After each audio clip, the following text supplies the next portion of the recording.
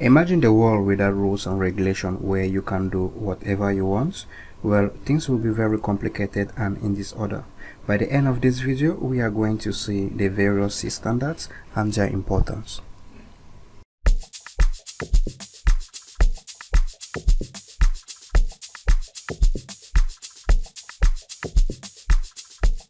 Dennis Ritchie designed the C programming language in order to redevelop the Unix operating system, right? Ken Thompson started the Unix project, right, in order to create a portable operating system because by then operating system were very specific right? So they want something like a general purpose operating system. Okay. Ken thompson started this project which was later on joined by dennis ritchie.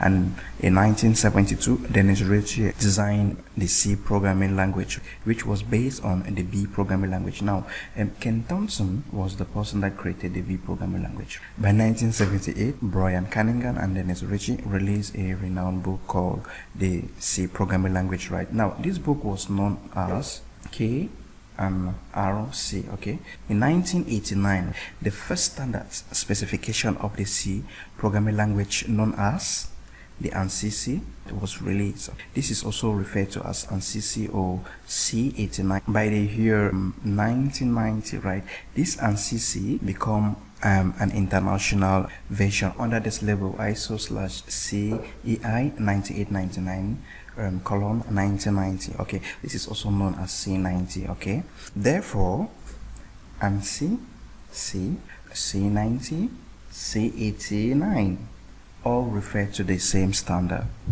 in 1995, some minor features and correction were added to the C90. It is also called C90 Amendment 1.0.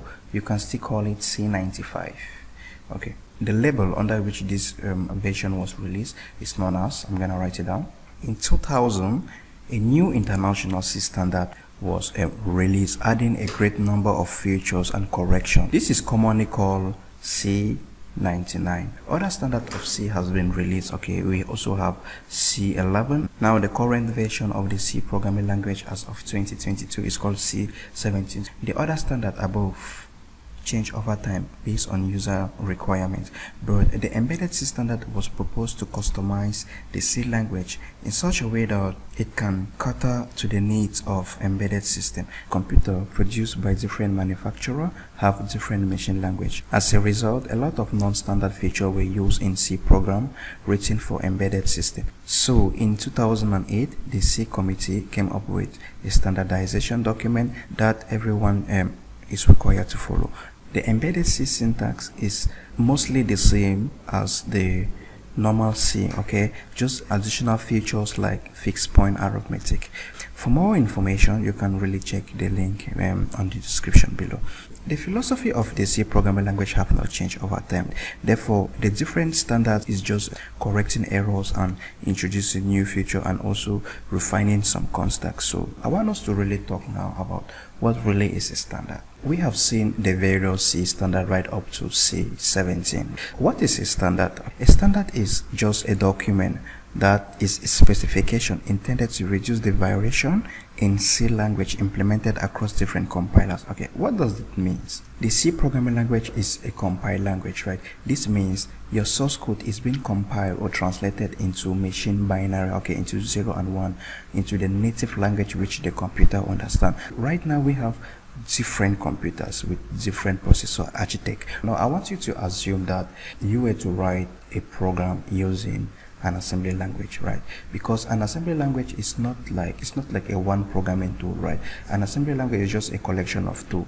That means each processor has its own assembly code or assembler. The C standard tries to reduce the different variation that is found on different processor. This is why the C committee have to create a standard in which everybody has to adhere to. This compiler vendor will implement the standard which which is being released by the C committee and they will also add more okay in our next video we are going to understand the various um, areas um, that we can have from a compiler because certain um, features are not um, implemented across all um, the compilers because you might use a certain feature on a compiler and you use that same feature on another compiler is not going to work the compilers also add their own feature okay So for example, under the GCC compiler, you can use a macro such as um, hash define underscore GNU source. Now, this is just issue of portability, right? This simply means, okay, I want you to use the feature which are not described under the C standard. So it's just an issue of portability. And if you use this, your code will not run on certain platform so you should be aware and again at the beginning of this video i said um, the c programming language was really designed to redevelop the unix operating system that means the c programming language is closely tied with the unix operating system but this don't necessarily means that um, programs written on the C programming language will run only on the Unix operating system. No, but if you, it will programs written on the C programming language will run on any platform be it desktop, mobile, um, embedded, whatever platform you have, programs written under the C programming language will run on it based on the fact that you you have the right compiler okay you have the compiler for that platform that understands the C standard and is going to produce the machine binary okay i hope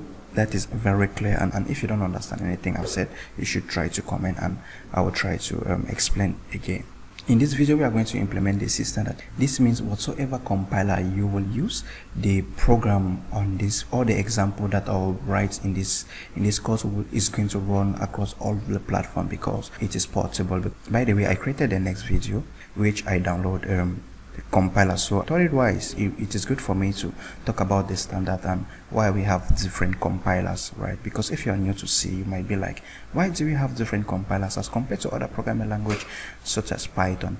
Also for Java Java just have one compiler.